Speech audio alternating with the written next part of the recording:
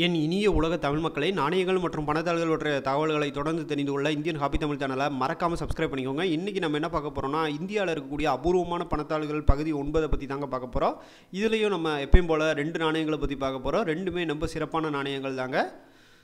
இது போன்ற நாணயங்கள் உங்கள்கிட்ட இருந்தாலோ பெரிய லெவலில் மதிப்பு எவ்வளோ இருக்குங்கிறத நீங்கள் தெரிஞ்சுக்கலாம். இங்கே இருக்கக்கூடிய இரண்டு ரூபாய் நாணயத்தை வந்து பாருங்கள் இந்த நாணயமானது இரண்டாயிரத்தி ஏழில் அறிமுகப்படுத்தப்பட்டு இரண்டாயிரத்தி பதினொன்று வரைக்கும் தொடர்ந்து அத்தடிக்கப்பட்டதுங்க. இந்த நாணயத்தோட வெயிட்னு எடுத்துக்கிட்டிங்கன்னா ஆறு கிராம். இது துருப்பிடிக்காத இரும்பினால் தயாரிக்கப்பட்ட நாணயங்க. இதை வந்து ஆங்கிலத்தில் ஸ்டெயின்லெஸ் ஸ்டீல்னு வந்து சொல்லுவாங்க.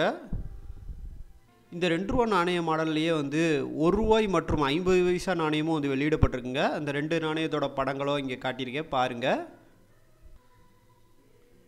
இந்தியாவில் இருக்கக்கூடிய ஒவ்வொரு நாணயங்களுக்கு பின்னாடியோ எத்தனையோ வகையான வரலாறுகள் இருந்துக்கிட்டு தாங்க இருக்குது இப்படிப்பட்ட வரலாறுகள் இந்த நாணயத்துக்கு பின்னாடியோ எக்கத்தக்கங்கள் இருக்குங்க.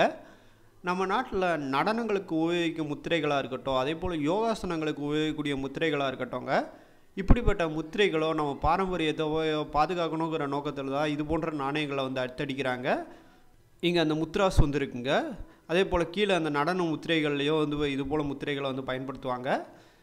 இதெல்லாம் மையப்படுத்தி தான் வந்து இந்திய நா நாணயங்களில் வந்து அத்தடிக்கிறாங்க. இப்படி இந்திய நாணயங்களில் ஒவ்வொரு நாணயங்கள்லேயோ பாரம்பரியத்தை மையப்படுத்தி எத்தனையோ வகையான தகவல்கள் மறைஞ்சு இருந்துக்கிட்டு தாங்க இருக்குது இப்படிப்பட்ட தகவல்களை நீங்கள் தமிழில் தெரிஞ்சுக்கணும்னா நிச்சயமாக நம்ம சேனலை தொடர்ந்து பாருங்கள் நம்ம சேனலில் இருக்கக்கூடிய மற்ற வீடியோக்களை நீங்கள் பார்த்தாலோ எத்தனையோ வகையான தகவல்கள் தெரிஞ்சுக்கிட்டு தாங்க இருப்பீங்க. சரி இந்த நாணயத்துக்கு முன்னாடி இருக்கக்கூடிய மாடல்களோ பின்னாடி இருக்கக்கூடிய மாடல்களோ என்னென்னு தெரிஞ்சுக்கோங்க. இப்போ இதற்கு முன்னாடி இருக்கக்கூடிய மாடல்கள்னு எடுத்துக்கிட்டிங்கன்னா இந்த பெஸ் சிம்பிளில் இருக்கக்கூடிய நாணயங்கள் தாங்க. அதாவது ரெண்டாயிரத்தி ஐந்துலேருந்து ரெண்டாயிரத்தி ஏழு வரைக்கும் வெளியிடப்பட்ட ரெண்டு ரூபாய் நாணயங்கள். இதை யூனிட்டி இன் டைவர்சிட்டி காயின்ஸ்னு சொல்லுவாங்க. அதே போல் அதற்கு அடுத்த வகைன்னு எடுத்துக்கிட்டிங்கன்னா ரெண்டாயிரத்தி பதினொன்றுலேருந்து ரெண்டாயிரத்தி பத்தொம்போது வரைக்கும் வெளியிடப்பட்ட இரண்டு ரூபாய் நாணயங்கள் தாங்க. இது மூணுமே வந்து பார்த்திங்கன்னா துருப்பிடிக்காத இருமினாலில் தயாரிக்கப்பட்ட நாணயங்கள். இங்கே இடது புறத்தில் நார்மலான நாணயங்கள் இருக்குங்க. இதே வலது புறத்தில் இருக்கக்கூடிய நாணயத்தை வந்து பாருங்கள் ரெண்டாயிரத்தி எட்டு மாடல் மியூல் வகைங்க. அது என்னப்பா மியூல்னு கேட்டிங்கன்னா நாணயத்தின் முன்பக்கம் ஒரு நாணயத்தின் சாயலாகவும் நாணயத்தின் பின்பக்கம் வேறு ஒரு நாணயத்தின் சாயலாகவும் வந்து இருக்குங்க. இதை தான் வந்து பார்த்திங்கன்னா மியூல் நாணயங்கள்னு வந்து சொல்லுவாங்க. இப்போ இந்த நாணயத்துலேயே வந்து பார்த்திங்கன்னா அந்த ரெண்டுங்கிறது ரெண்டில் ரெண்டு நாணயத்துலேயுமே வந்து பார்த்திங்கன்னா ஒன்றா தாங்க இருக்குது ஆனால் நாணயத்தின் முன்பக்கமான அசோகம்பலம் பக்கம் வந்து பார்த்திங்கன்னா ரெண்டு நாணயத்துலேயே வேறுபடுதுங்க. அப்போ இந்த மியூல் வகை எந்த நாணயத்தோட மெர்ஜாகி வந்திருக்குன்னு கேட்டிங்கன்னா கீழே இருக்கக்கூடிய பத்து ரூபாய் நாணயங்களோட வந்து கலவையாக வந்து வந்திருக்குங்க. இந்த மாடல்களானது நோய்டா மீட்டில் மட்டும் தான் வரும். அதாவது கீழே வந்து புள்ளி குறியீடு இருக்கக்கூடிய நாணயங்களில் மட்டும் தான் இது போல் மியூல் வகைகள் இந்த ரெண்டு ரூபாலே வந்து வரவங்க சரி இப்படிப்பட்ட இந்த மியூல் வகை நாணயங்கள் சந்தையில் வந்து அதாவது மார்க்கெட்டில் வந்து எந்த லெவலுக்கு விலை போகுதுன்னு கேட்டிங்கன்னா ஆயிரத்தி ஐநூறுரூவாலேருந்து ரெண்டாயிரத்தி முந்நூறுரூவா வரைக்கும் வந்து விற்பனை ஆகுதுங்க இது கொஞ்சம் கொஞ்சமாக கூடவங்க இன்னும் ஒரு பத்து பதினஞ்சு வருஷத்துக்கு அப்புறம் தான் இதோட வேல்யூவே வந்து பார்த்திங்கன்னா பல மடங்கு உயர்ந்திருக்கோங்க.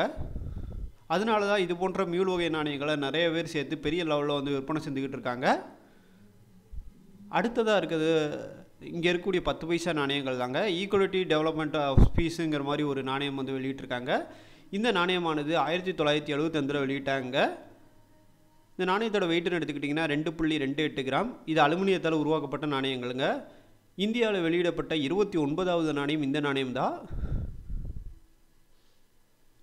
பெண்களோட வளர்ச்சியில் சம உரிமை கொடுக்கணுங்கிற நோக்கத்தில் தான் இந்த நாணயமானது வெளியிடப்பட்டிருக்குங்க. அதுவும் வந்து வேர்ல்டு உமன்ஸ் இயரில் தாங்க வெளியிடப்பட்டது. அதாவது உலக பெண்கள் வருடமாக ஆயிரத்தி தொள்ளாயிரத்தி எழுபத்தஞ்சு கருதப்பட்டதுங்க. அந்த நேரத்தில் இந்த மாதிரி நாணயங்கள் வந்து வெளியிடப்பட்டது. நிறைய வகையான திட்டங்களும் பெண்கள் முன்னேற்றத்துக்கு வந்து கொண்டு வரப்பட்டதுங்க.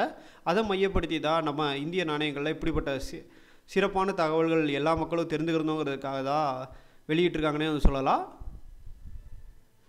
இந்த மாடல்களை பொறுத்த வரைக்கும் மூன்று நாணய சா சாலைகளில் வந்து அத்தடிக்கப்பட்டதுங்க. கல்கத்தா மும்பை மற்றும் ஹைதராபாத்தில் இதில் ஹைதராபாத்தில் அத்தடிக்கப்பட்ட நாணயங்கள் ரொம்ப ரொம்ப அபூர்வமாக பார்க்கப்படுதுங்க.